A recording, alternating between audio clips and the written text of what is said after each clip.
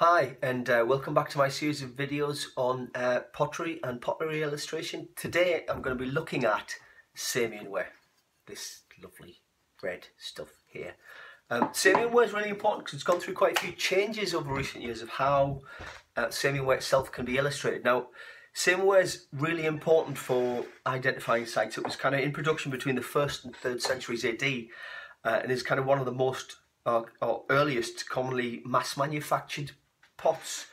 Um, they're very useful for dating sites, um, along with potted stamps that you get. There's also lots of decoration motifs which kind of occur on vessels. I don't know if you can see kind of here, I'm kind of just showing you some of the kind of basic motifs.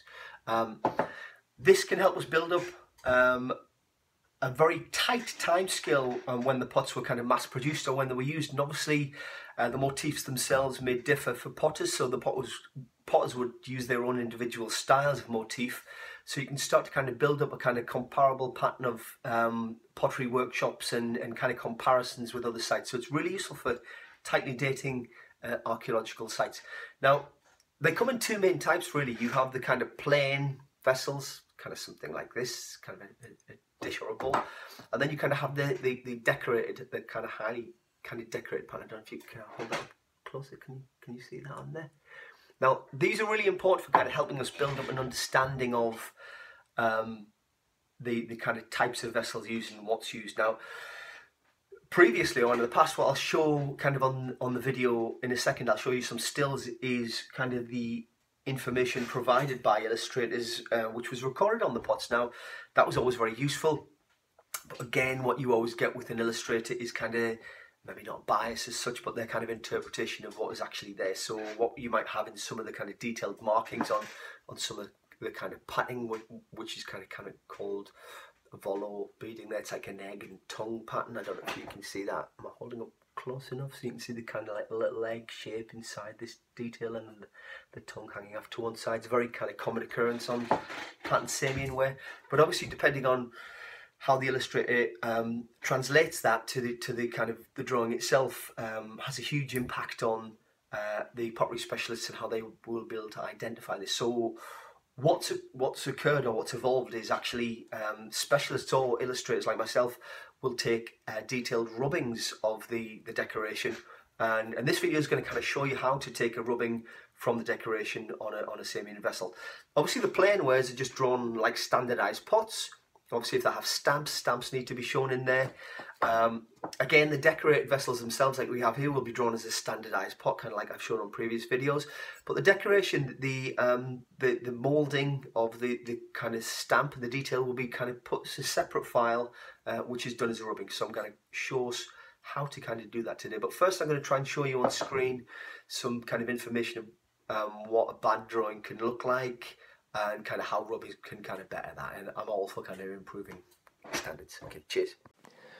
Okay, so I'm going to talk through this kind of problem that we have of um, decorated Samian ware being kind of slightly problematic. It mainly comes from the three-dimensional nature uh, of the bowls. means that any kind of translation between two-dimensional representations has to inevitably cause some distortion when it's laid out flat. Uh, that's not really the critical, critical issue, though. The core problem lies in the need for absolute accuracy in both the detail of the compositions and components within Samian ware. And here, uh, the obvious is that the intervention of the illustrator, however good, imposes kind of certain subjective criteria, even if those of the individual style of the illustrator and technique. At best illustrations can only really allow specialists to recognize the vessel for under consideration. Now, plain vessels, as I said, show profile and section when necessary, and standard line drawings similar to those employed for kind of other ceramic vessel, vessels fall into consideration. But this is where we kind of look at the Samian stamps. So the choice is really between rubbings and photography or line drawings. Now, one of the biggest difficulties with stamps is to get the scale exactly correct because identical spellings of names on stamps which produce from kind of cast dies can be uh, distinguished only by their size. So a well-lit photograph probably avoids most of the technical issues that you're going to have with kind of scaling. And getting a complete rubbing for impressions of deep vessels can be kind of slightly problematic. While drones, obviously, again, as I've mentioned, can be affected by the subjective um, vagaries that an illustrator can provide. So for this reason, rubbings remain preferred methodology uh, with photography as a second best. Now, decorated vessels uh, suggest kind of come into two categories, as I said before, kind of the plain vessels and the kind of more detailed uh, vessels themselves. Uh, if you kind of remove artistic interpretation, uh, this is going to kind of help with accuracy.